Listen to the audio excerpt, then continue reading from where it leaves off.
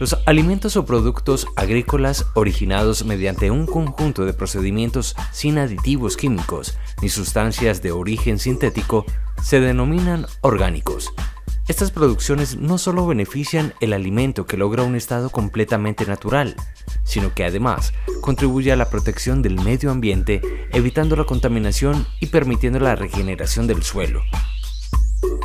Hoy, en nuestro programa, visitaremos una granja orgánica ubicada en el departamento de Antioquia, municipio de Santiago de Arma de Río Negro, Vereda Cabeceras. Conozcamos en qué consiste este proyecto.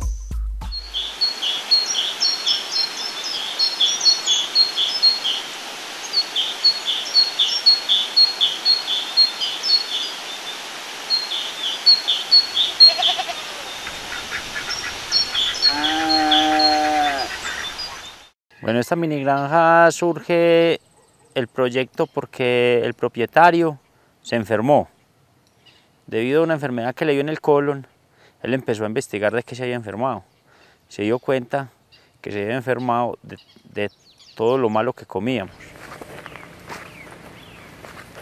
Él quería formar su huertecita como para su abastecimiento, comer pues el sano, tener de todo pero sano. Debido a que vio tanto impacto de esto y como que se encarretó tanto en el cuento, se empezó a investigar más, se dio cuenta que esto se podía. La granja fue creciendo poco a poco hasta llegar a los 4.000 metros cultivados en aproximadamente 30 variedades de diferentes hortalizas como lechuga, brócoli, coliflor, cebolla, repollo y tomate. Estamos basados muy en un esquema que hay en Costa Rica. Costa Rica el orgánico es muy fuerte. Nosotros nos hemos pegado mucho de ellos. Ahí ya hemos estado pues mirando cómo es que ellos trabajan, todo el proceso. Todo lo fabricamos. Los repelentes, los fertilizantes, los repelentes, llámese, no, yo los llamo repelentes. Otra gente los llama insecticidas, para mí son repelentes. No matan, sino que repelen. El olor repele los animalitos o las plagas que gente las llama. Igual las plagas, como todos, son animales que necesitan vivir. Y si hay diversidad, unos se combaten con otros.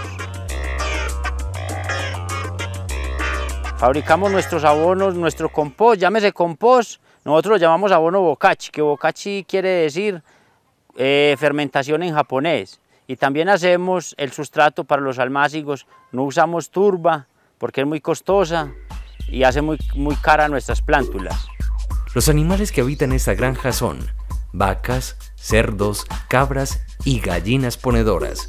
A todos se les brinda un manejo especial. Con los animales es mostrar que los animales no necesitamos tenerlos encerrados, como se dice, hacinados, sino que se pueden tener en libertad con buenas condiciones de vida.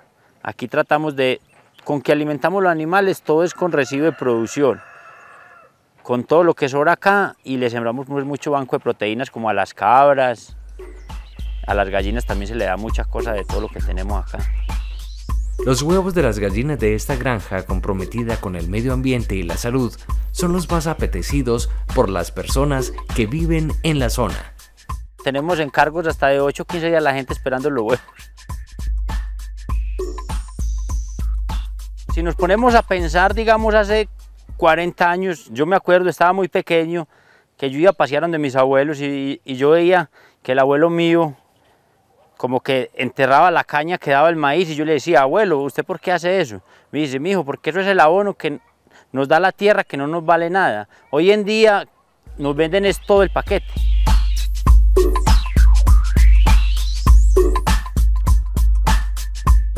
Orgánico es óptimo, rentable, generoso, ambiental, natural, inocuo, calidad y oportunidad. La gente piensa que lo orgánico no es que sea malo, sino que no se puede y es muy costoso. Por ejemplo, acá nosotros podemos demostrar que no. Bueno, los invito a que hagamos un pequeño recorrido por nuestra granja para enseñarles los procesos que hacemos con todas nuestras hortalizas y los animales.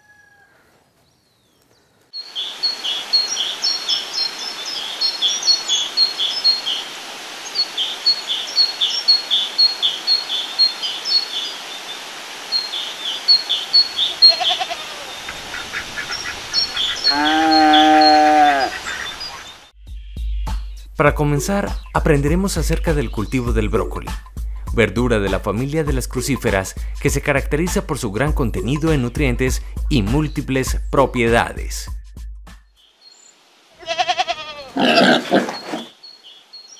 Semillero. Acá llegamos a todos nuestros semilleros donde se hace la germinación de todos nuestros vegetales. Acá las voy a dejar con Janet, que es la encargada de esta labor. Hola, yo soy Janet, soy la encargada de los semilleros, de sembrar la semillita, esperar a que ella germine, irla pasando, rotando, hasta que ella tenga cuatro semanas, que es ya cuando se pasa directamente a campo.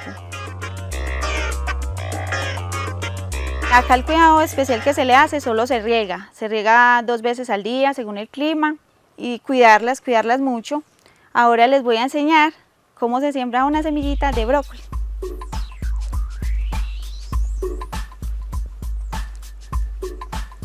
Ahora les voy a explicar cómo se siembra. Se llena la cubeta con el sustrato que es a base de bocachi y coco molido. Tratamos de que la cubeta quede bien llena.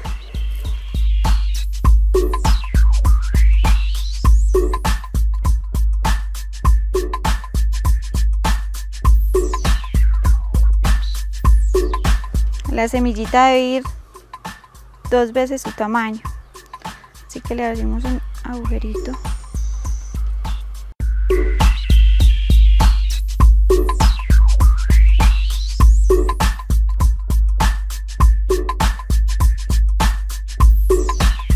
Luego de haber sembrado la semillita, procedemos a cubrirla con el sustrato, que quede bien cubierta.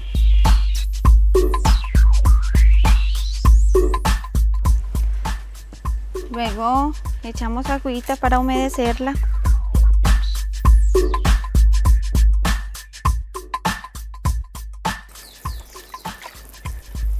Luego se tapa para darle algo de oscuridad y así ella germine más rápido.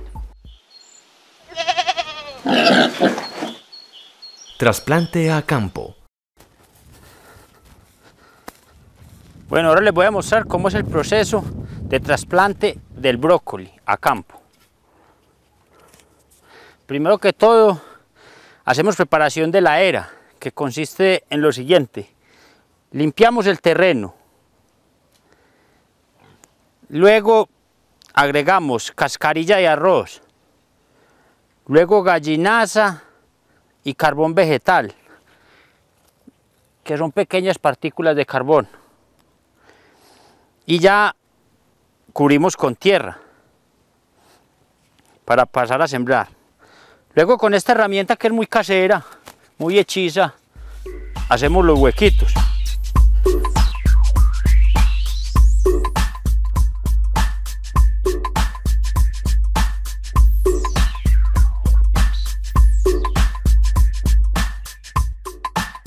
Luego de hacer los huecos se adicionan aproximadamente 100 gramos de abono orgánico bokashi, el cual es preparado en la granja.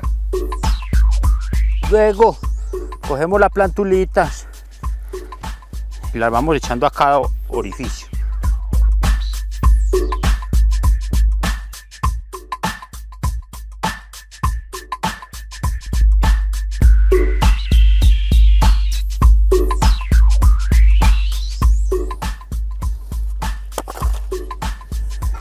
Luego ya la sembramos.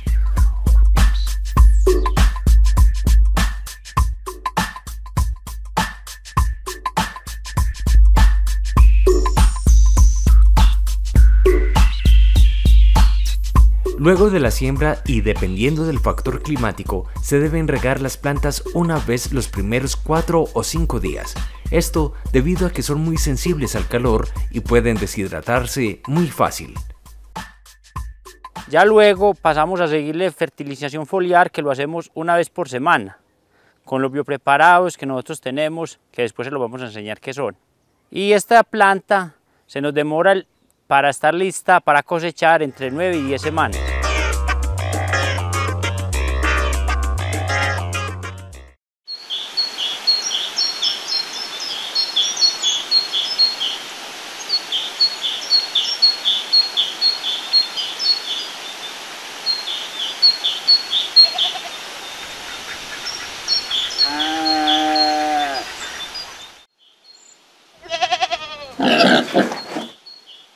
Reabono. Ahora estamos acá con un brócoli que tiene 15 días de siembra. En ese momento pasamos a hacerle la reabonada, que consta de chuzar la mata y echarle el bocachi. Y luego de que echamos el bocachi pasamos a porcar la mata para que ella tenga un mejor sostenimiento cuando eche el fruto. Ahora los invito a cosechar un brócoli que está listo. Antes de ver la cosecha del brócoli, conozcamos a Guillermo Valencia, agricultor que desde pequeño lleva el campo en sus venas. Este labriego, oriundo del municipio de La Unión, nos contará cómo ha sido su experiencia desde que comenzó a trabajar en esta granja, la agricultura orgánica. En realidad el cambio es mucho, porque yo me mantenía enfermo. La verdad que yo, yo, me mantenía como, ¿cómo le digo yo? Dolor en los huesos. Me mantenía y ahora yo me mantengo activo para todo, a mí no me duele nada. El beneficio más importante que ha obtenido Guillermo al trabajar la tierra de manera orgánica es la mejora de su calidad de vida. Incluso nos recomienda por qué debemos cultivar y consumir alimentos sanos y limpios.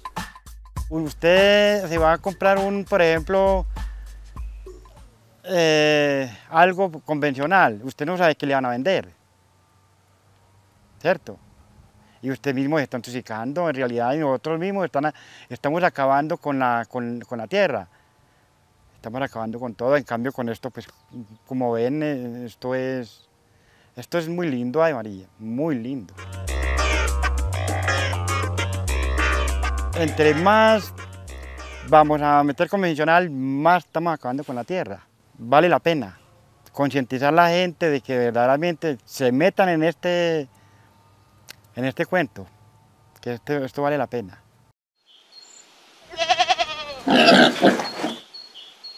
Cosecha. El brócoli debe cosecharse cuando la longitud del tallo alcanza 5 o 6 centímetros y con un número de hojas exteriores necesario para su protección. Esta planta debe tener las inflorescencias cerradas y verde oscuro brillante. Como pueden ver acá nosotros trabajamos en eras de nivel para evitar la erosión del suelo, que es lo más importante de nosotros, porque si con los aguaceros se nos lava la tierra, ¿cuándo la volvemos a recuperar? Nunca. Si nos damos cuenta, un centímetro de tierra que se lave se demora 100 años en recuperarlo. También acá no tenemos monocultivos, como pueden ver, hay mucha diversidad de todo. Eso nos ayuda a que no hayan plagas ni enfermedades y también hacemos mucha rotación de producto. Por ejemplo, Sale esta era de lechuga, no volvemos a sembrar lechuga, ya cambiamos a brócoli. Para donde estaba la brócoli sembramos la lechuga. Y cada tres o cuatro siembras cambiamos la era de, sitio. Donde yo estoy parado en este momento, que es el camino, ya viene a ser la era. Y por donde es la era, viene a ser nuestro camino.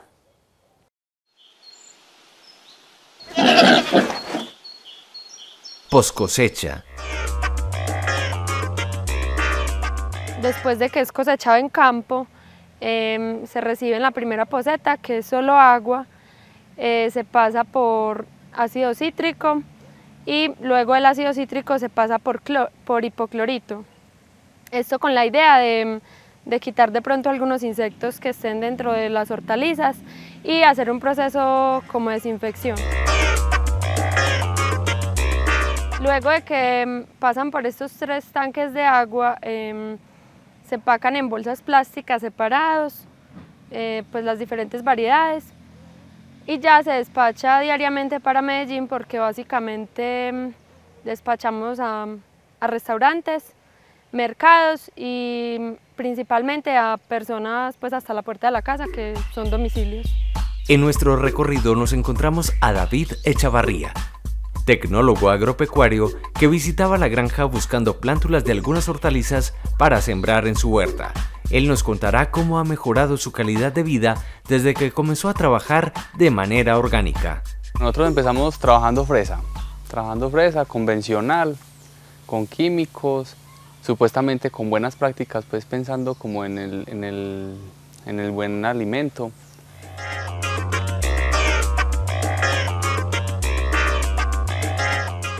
Al principio uno, quiere ser orgánico, pero uno le da miedo sin ver. dimos un vuelco total y pasamos a hacer agricultura orgánica. Vivimos de esa agricultura y con ganas de seguir creciendo. Lo más importante es como la satisfacción de que estamos comiendo bien y le estamos dando un producto, sobre todo a la familia. La familia es como lo más importante, le hemos dado a entender la nutrición tan importante que puede ser esta parte sin venenos.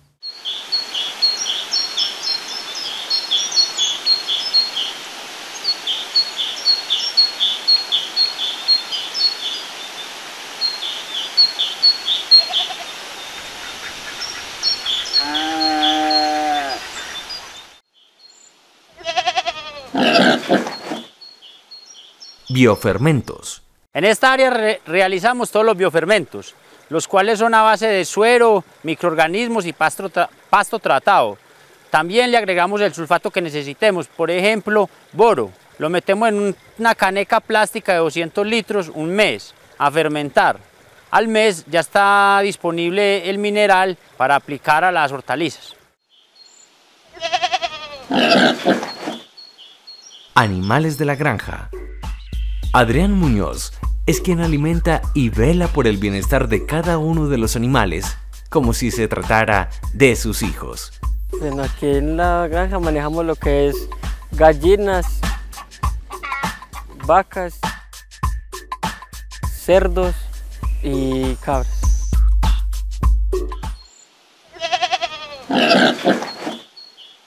Gallinas. En esta granja, las gallinas ponedoras son criadas en pastoreo.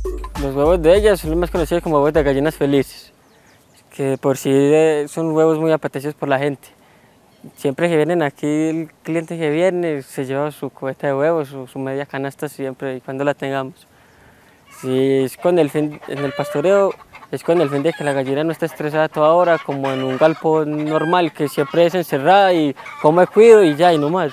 En vez que tiene el- la oportunidad de salir a comer cualquier grillito, que también le da proteína al huevo y todo lo, lo beneficia a nosotros también.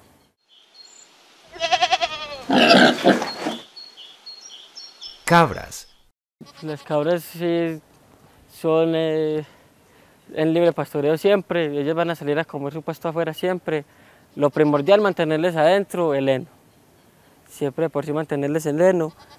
Y aquí elaboramos un pasto tratado que también es muy, pues, muy benéfico para ellas, las mantiene pues bonitas y se lo damos a ellas revueltas con el cuido.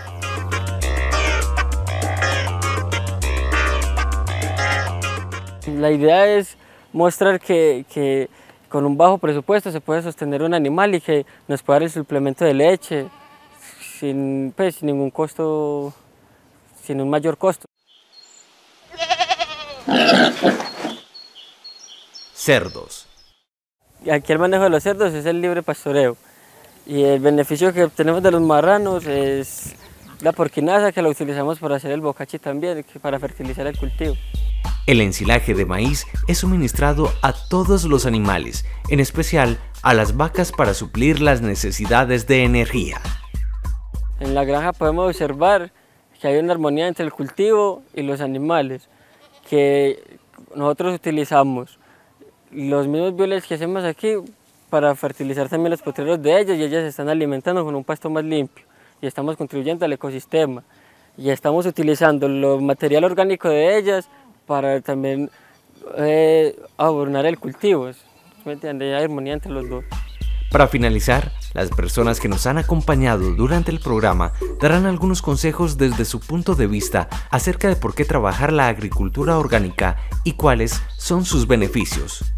Debemos es como cambiar la idea, cambiar la idea de, de que sin químicos no podemos, no podemos producir. Yo creo que se puede cambiar y si quieren pues tienen que hacerlo desde el corazón pues y poner la energía y estar como con las plantas y sobre todo con la nutrición, comiéndose una planta sana, que tú no tengas problema de, de, de que sepas que no, no, no sabemos qué le están aplicando por controlar un insecto que de pronto no, no es malo, sino que nosotros lo hemos vuelto malos, sino que nos comamos una planta que, que está equilibrada, está nutricionalmente bien.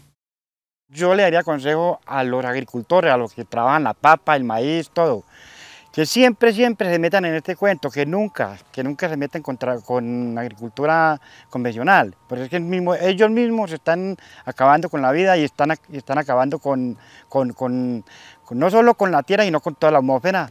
Lo más importante, tanto para productores como todas las personas que hacen parte del proceso, está no solamente en cuidar la salud, sino también en ayudar al mejoramiento del medio ambiente. Todavía estamos a tiempo de devolverle lo que le hemos quitado y estamos a tiempo de que con esta nueva tendencia em, cuidemos mucho más el planeta. Espero que le haya gustado el pequeño recorrido que hicimos en nuestra granja. Apostarle al orgánico es salud, economía y contribución con el medio ambiente.